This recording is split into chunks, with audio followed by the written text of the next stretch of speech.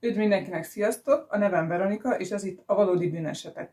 A mai részben egy Hollandiában elkövetett sorozatgyilkosságról fogok nektek beszélni, ez pedig nem más, mint a Leideni mérgező esete. Mária Katarina van der Linden Swanenburg holland sorozatgyilkos volt, 1839. szeptember 9-től 1915. április 11-ig élt.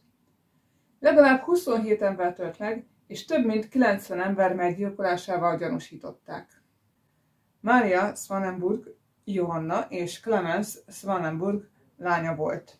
Mivel Mária első két lánya fiatalon meghalt, ezért 28 évesen, 1868. május 13-án hozzámegy Johannes van der Lindenhez. Hét közös gyermekük születik, öt fiú és két lány. A házasság 1886. január 29-ig tartott.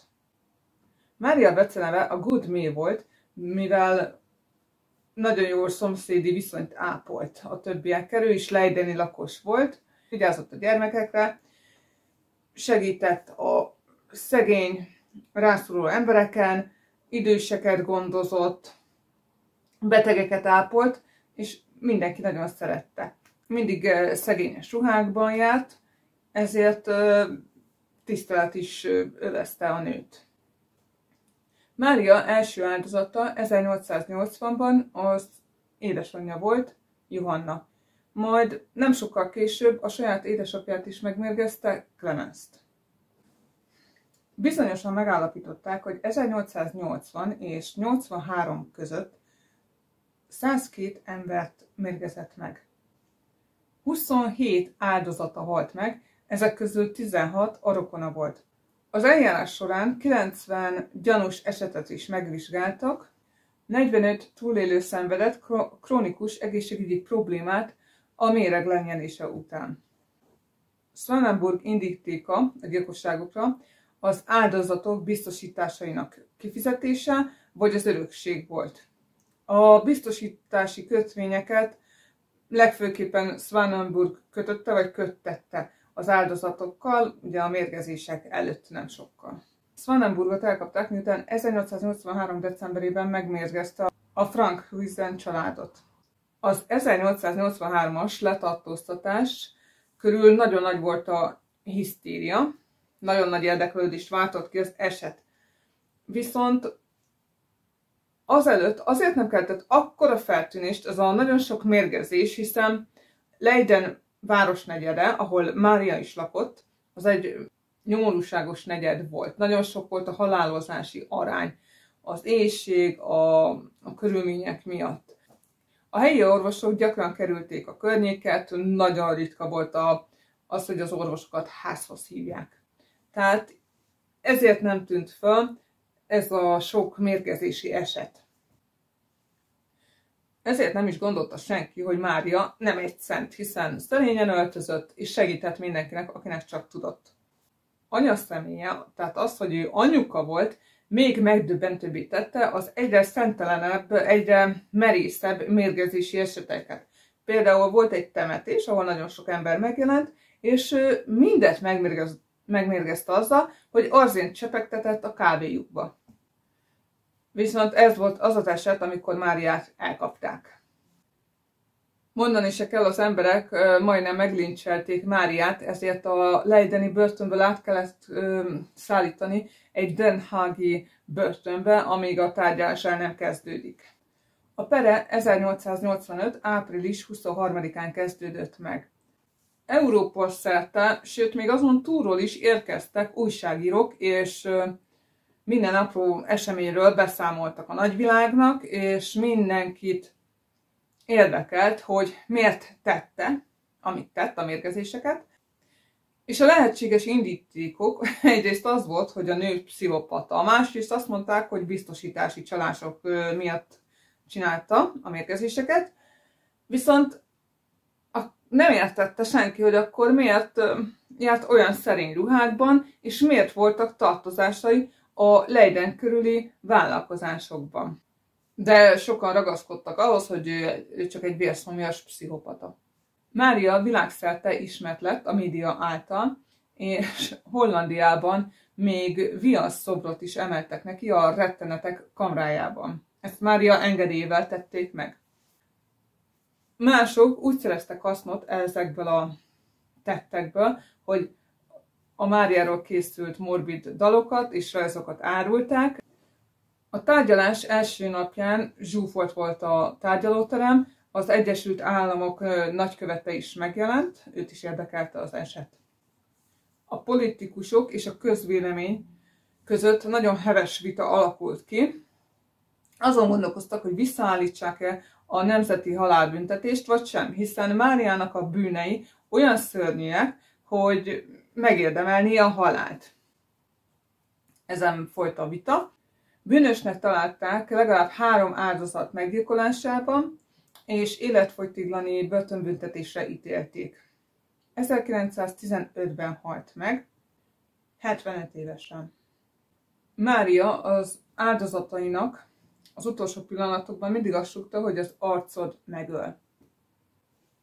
Magáról a mérgezésekről nem túl sok mindent tudunk, de Stefan Glasbergen volt az, aki próbált ezeknek a gyilkosságoknak a mélyírásni, hogy hány áldozata is lehetett Máriának, és azt mondta, hogy ha felcsapjuk például a Wikipédiát, akkor legalább 6-7 hibát tudna mondani, amit ott le van írva. Sokkal több áldozatot kötnek Máriához, mint amennyit valójában ő megtett. Ő azt állítja, hogy több mint 65 embert mérgezett meg azzal, hogy 1864 és 1883 között arzént juttatott ételeikbe, italaikba. Közülük legalább 23 később meghalt. A hírhet gyilkost körülvevő legnagyobb rejtélye azonban vitathatatlanul az, hogy miért hallottak olyan kevesen róla, különösen Hollandián kívül. Bocsánat, ha nem jól mondom, de Jossine Heinen egy olyan nő, aki a Leiden közelében lévő Katvik városában lakik, és ő nagyon sokáig nem hallott erről a történetről, addig a napig, amíg egyszer nem találkozott egy könyvben egy róla szóló történetről, amiben ételmérgezést is mondanak, és hogy good me, azaz Mária nagyon sokszor az ételeket is megmérgezte. Például az apkását. És Josina nem mert nagyon sokáig zapkását tenni ennek következtében. Egyszer egy baráti ebéden az egyik barát azzal viccelődött, hogy ó, megmérgezték az ételünket, akár csak good me. De a legtöbb azt se tudta, hogy miről van szó, és ez Josint nagyon meglepte, hogy, hogy ennyire nem hallanak erről a nőről, aki ennyi embert megmérgezett, és hány, hány meg is halt közülük. Úgyhogy úgy gondolta, hogy a nő történetét, aki közeli városból származott, ahhoz a városhoz közel, ahol ő lakott, tehát úgy gondolt, hogy ezt a történetet neki világá kell küldtenie, és nem is akárhogyan. A nőt inspirálta Mária története, és egy amsterdami szerszfőzde tulajdonos barátjával megalapítottak egy gin családot. És Mária lett az arca ennek a ginnek. Azt mondta, megpróbálta kitalálni, hogy hogy vigye közelebb az emberekhez Mária történetét, és összekötötte azzal, hogy a nő Jean rajongó. Nagyon nagy kereslet lett ez iránt a Jean iránt, még Hongkongból is kapott megrendeléseket. Például az Einstein bárban, ez az alapanyagja egy koktélnak, a koktél neve The Poison, azaz a méreg. De nem csak ezt a nőt ihlette meg Good Me, hanem például egy szabadulószobát is, ahol a látogatók, mint nyomozók próbálják elkapni a tettest. A Leiden's Better Bagel és felhasználta a Good Me történetét, és ők is készítenek bégelt, de csak ö, mindig telihold előtti éjszakán. Ebben az üzletben lehet kapni mákos bégeleket, viszont ilyenkor készítenek olyat is, amiben áfonyát raknak, és elrejtik a többi mákos bégel között. És hogyha a vevő vesz egy bégelt, egy mákos bégelt, és abban pont áfonyás van, akkor azt jelenti, hogy az a mérgezett bégel, és hogyha visszamegy a, az üzletbe, akkor úgy nem lesz mérgezett, úgy, úgy az ellenszer az, hogyha segít egy másik bégelt készíteni. Tehát ez egy játék effektív, de ezzel segítik egy picit a történetet továbbvinni. Mária történetét tévéfilmre is vitték, de a modern időkbe helyezik át az ő történetét. És ez a bégeles segített a filmstárnak népszerűsíteni ezt a filmet úgy, hogy ugyanúgy ezt a mákos bégelt, áfonyás mákos bégelt ö, lehetett véletlenszerűen megvenni, és hogyha tiéd lett ez az úgymond mérgezett bégel, akkor visszamentél a pulthoz, kaptál egy italt, és akkor ezzel semlegesítetted a mérget. Ezt a premier napján szolgálták fel a mérgezett bégeleket és az ellenszert is. Szerintem ez egy vicces tematika. Leidenben nagyon vegyesek az érzelmek Máriával kapcsolatban. Nem nagyon sok emlékeztető jel utal arra, hogy ő ott élt, létezett. Nem akarják, hogy erről legyen ismert a város. Egy ilyen szörnyű büntetről. Miután Mária bekerült a börtönbe, a rokonok alig várták, hogy elfelejtsék ezt az egész ügyet. A férjének egy súlyos betegség get követően sikerült felépülnie, és sikerült újra házasodnia. A hét közös gyerekből három élte meg a felnőtt kort, és ezek közül kettő interjút is adott annak a Glassbergennek, aki később egy életrajzi könyvet írt a nőről. Glassbergen biztos hogy a 23 az igazi szám a rendőrségi nyomozás és a tárgyalás alapján, ami vitathatatlanul azt jelzi, hogy Mária minden idők leghalálosabb női sorozatgyilkosa. A mai videóban a legérdekesebb része számomra az, hogyha 23 áldozatot ölt meg, úgymond sikeresen, és megkaparintotta az ő örökségüket, vagy életbiztosításukat, akkor az a pénz hova került? Hiszen volt Máriának egy családja, volt férje és gyerekei. És hogyha azon belül nem láttunk egy tetemesebb felemelkedést, vagy, vagy gazdagságot, akkor hova került az a pénz? Vagy abból segítette talán a szegényeket? Tehát egyes mérgezéseknek a jó oldala az, hogy jó helyre került a pénz. Hát ezt nem tudhatjuk. Legalábbis én erre nem találtam meg a választ.